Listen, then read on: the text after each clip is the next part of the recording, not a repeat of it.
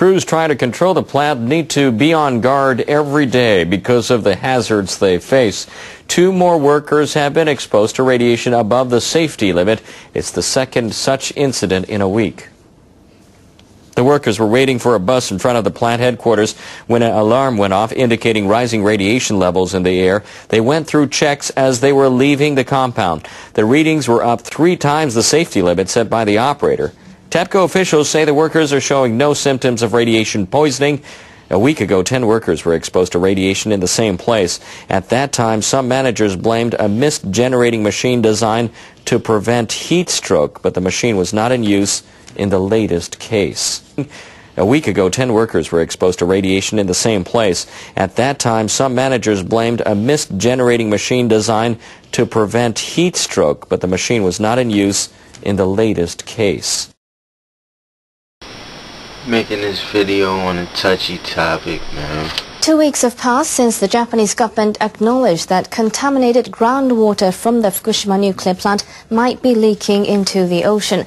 What the fuck's wrong with you? Like, what, I mean... The government and the plant's operator are doing all they can to stop the leaks. What the fuck is wrong with you? They've announced a series of countermeasures, but experts warn that there are more pressing issues than just focusing on the groundwater. NHK World's Yoichiro Tateiwa has more. Crews at Fukushima Daiichi have spent days working on their latest stopgap measure. They've been driving long pipes into the ground at the nuclear plant. They will use the pipes to pump up tons of radioactive groundwater before it reaches the ocean. But they admit they can't capture all of the tainted water. Two weeks ago, government officials said that hundreds of tons of groundwater flow from a mountain through the site every day. 400 tons filters into the reactor buildings. The officials estimate 300 tons makes its way through a contaminated area below, becomes radioactive, then seeps into the ocean. Experts from the Nuclear Regulation Authority were firm about resolving the problem quickly. We must find a way to stop the groundwater from leaking into the ocean right away. You have your colander in the sink and just slowly pour your water into it with all Managers with Tokyo Electric Power Company, TEPCO, are planning a longer-term measure. They are considering building a network of pipes around the plant and running coolant through it to freeze the soil. That, they say, would create a dam to block groundwater from reaching the contaminated area but the project would take one to two years to complete. What the fuck, man? I just don't get ya. One expert is questioning the way the government and TEPCO have been handling the problem. Professor Jota Kanda has been studying the effects of radiation on the sea ever since the Fukushima accident. He says TEPCO slowed the response to the crisis by refusing to admit the leaks were even happening. Why can't you just be fucking cool? Cause there's something fucking wrong. I don't like to say all y'all, but all y'all motherfuckers, man. We should have had discussions based on the fact that radioactive materials have been leaking from the plant. Kanda argues government statistics don't add up. He says a daily leakage of 300 tons doesn't explain the current levels of radiation in the water. According to my research, there are now 3 gigabecquerels of cesium-137 flowing into the port at Fukushima Daiichi every day.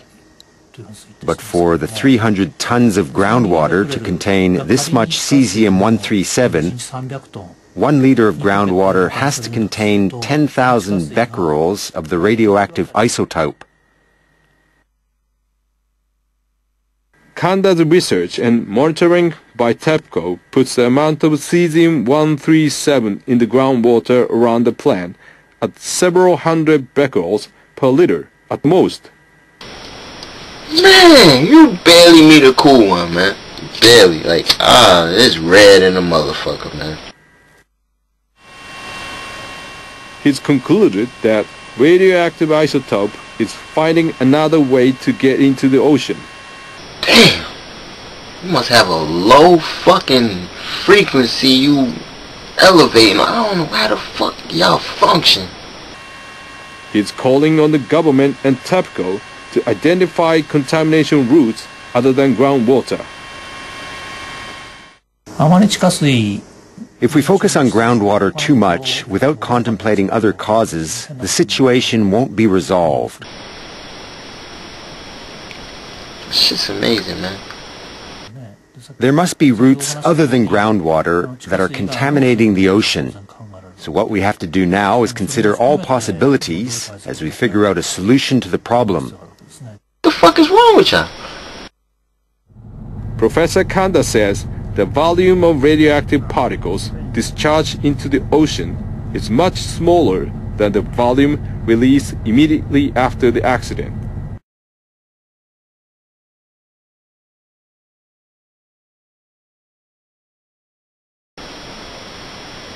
I mean, that's why they call y'all the fucking devil. Y'all do evil shit. Like, what the fuck is wrong with y'all motherfuckers, man?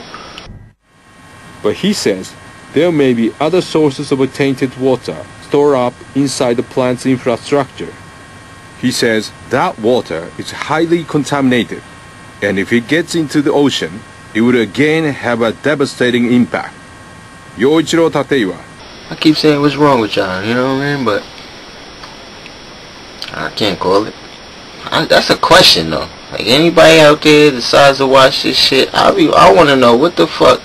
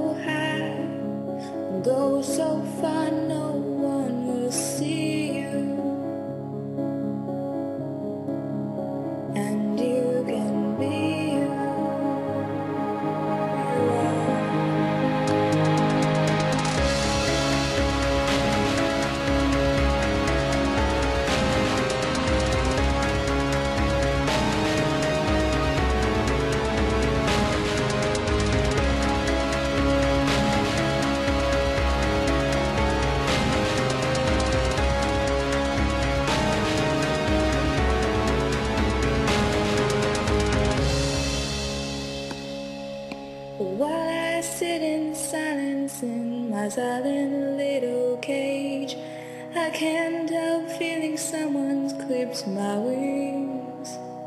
It's the age, it's just strange, and it's sick.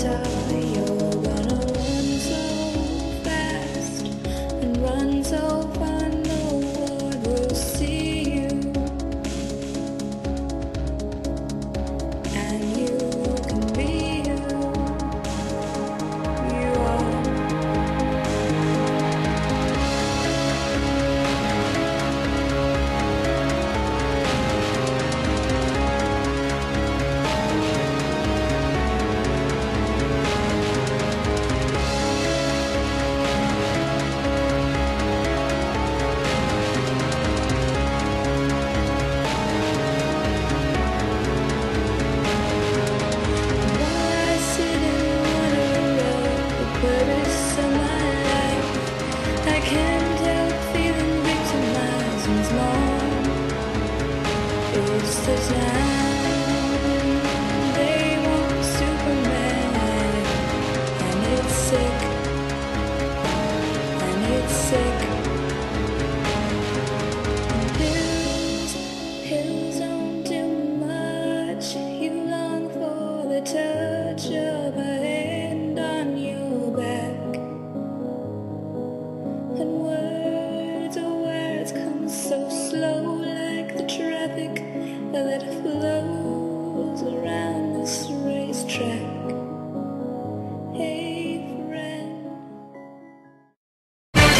And in a surprise announcement this morning, U.S. Deputy Surgeon General Greg Paulson stated that, quote, it's fine to smoke cigarettes if you only smoke while drinking.